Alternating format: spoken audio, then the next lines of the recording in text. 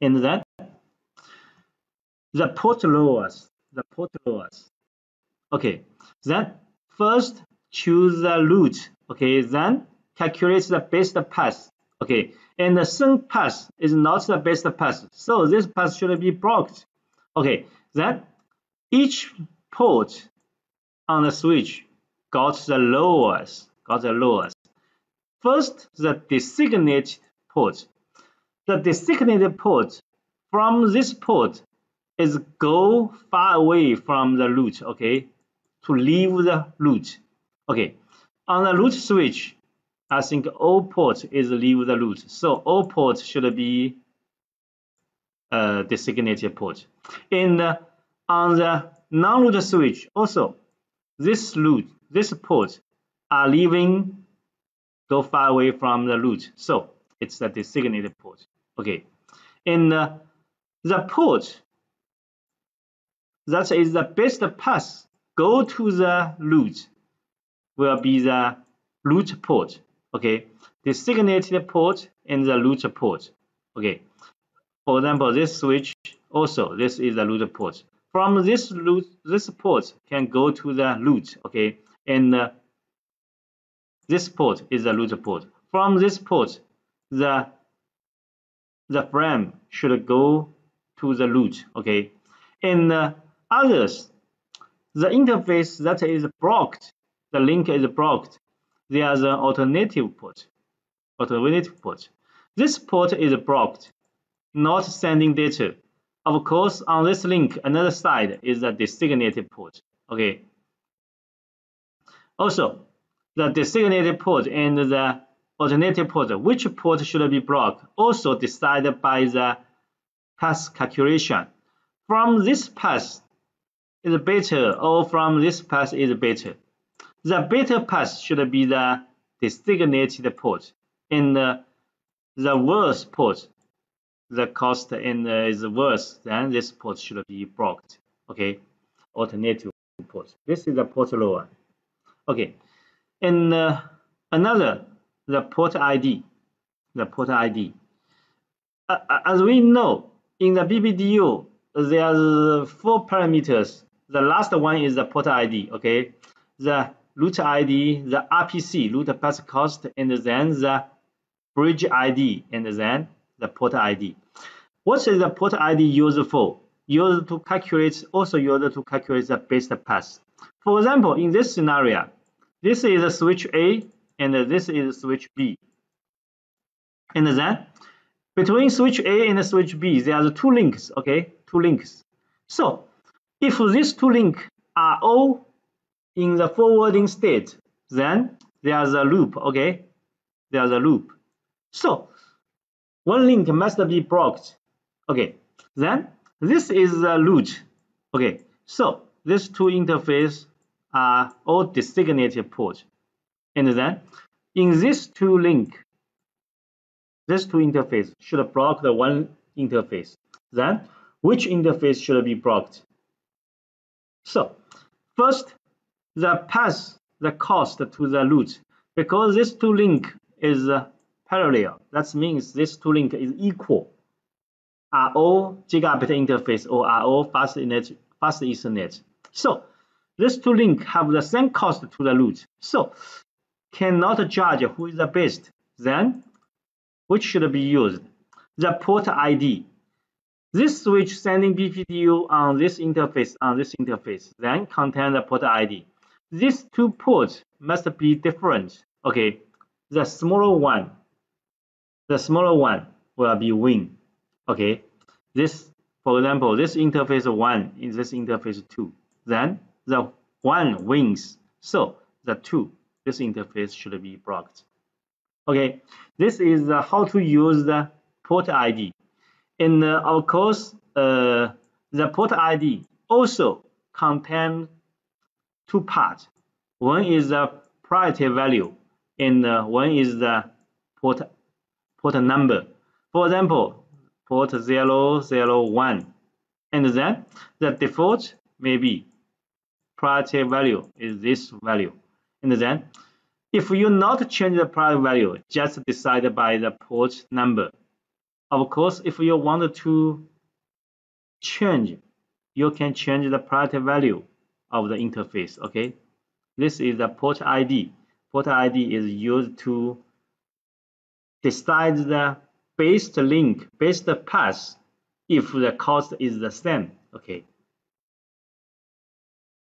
And then the timers. As we know, uh, in a BPDU, the last four, last four fields are timers, okay? And uh, also, as we know, the BPDU negotiated with the switches. There is interval. This interval is a BPDU interval. Uh, by default, it's two seconds. Of course, you can change it. Okay, this is a two seconds. And then the maximum age and the message age. The message age means each switch received the packet, received the BPDU, and then process and then sending out. So need time. Uh, of course, this time cannot calculate accurately. So we just one hop of the switch, just one second. Okay, assign one second. That means the first the root sending out this the message age is message age is zero. And then after one switch then the message age becomes one. And then if we go to another switch then message age becomes two. Okay. This is the message age. And another is the maximum age. Maximum age. The maximum age is the 20 that means if the BPDU forwarding the 20 switch then this BPDU will be deleted. We are not forwarding. Of course, uh, such a big BPD, such a big switch network is not recommended. Usually, we recommended a network. The diameter of the switch network is seven. Okay, uh, the far away switch between this, for example, this this network, this is the diameter is the is a is a four, okay, and uh, is a three, and uh, the recommended is seven, not more than seven, okay, and uh, uh, the maximum age just when BPDU is sending out to the switch, then this message age is two. Then, if after that time this switch not sending the BPDU out again. Then the time passed. After 18 seconds, then 2 plus ending plus 18. This is 20. So this message have reached the maximum age. So this BPDU will be deleted.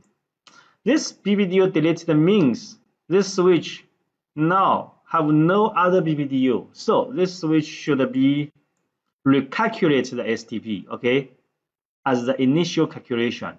Okay, this is the maximum age, called the maximum age. And another, another timer, another timer not appear here. There's a forward delay, the forward delay.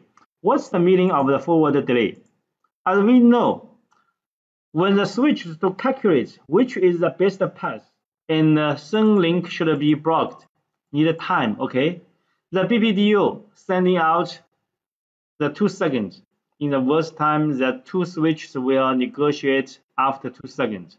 For example, in this, the router bridge sending out the message. In worst time, in most uh, conditions, this message sending to the this switch should need four seconds. Okay, need four seconds. So the calculation of the best path need times. Then how many times need we need to wait? Yeah, the IEEE assigned a value 15 seconds. Okay. The switch should waiting 15 seconds to forwarding data. This timer we call the forwarding delay. Forwarding delay.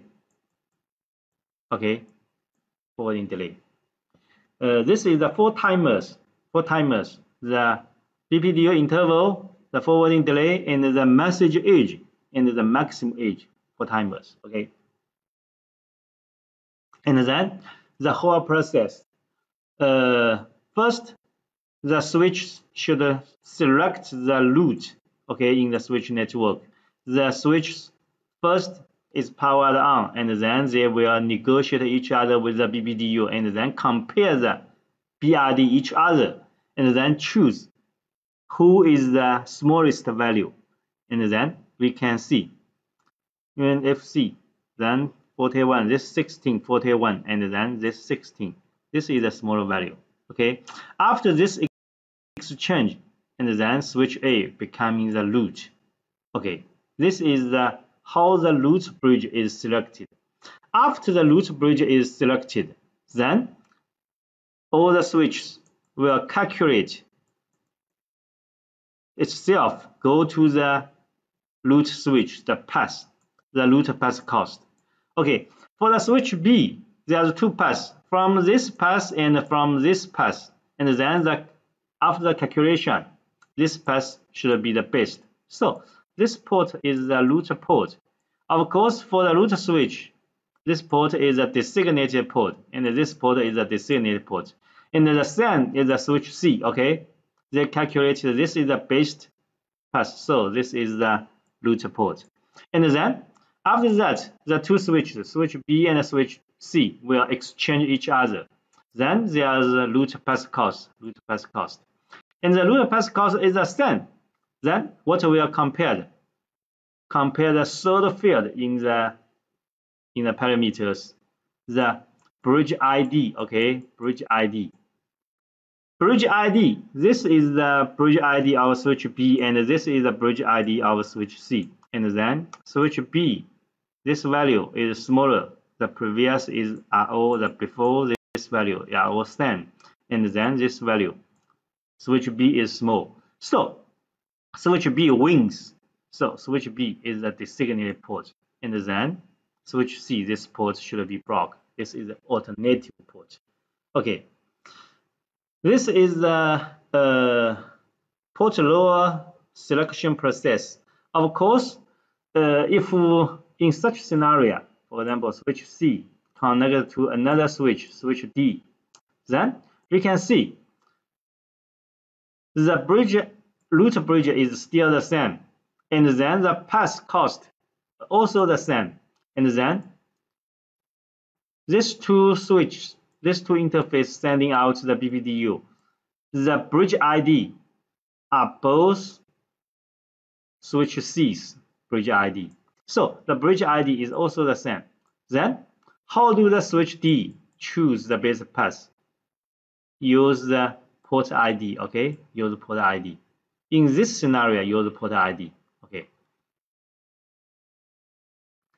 And then the port state transition that we have discussed the calculation of the STP need time need time so when the switch is calculating which port should be forwarding data which port should be blocked in this time you cannot forwarding data okay you must hold must hold okay hold on how many times should be hold yeah, this is the state transition by infinite finite state machine. Okay.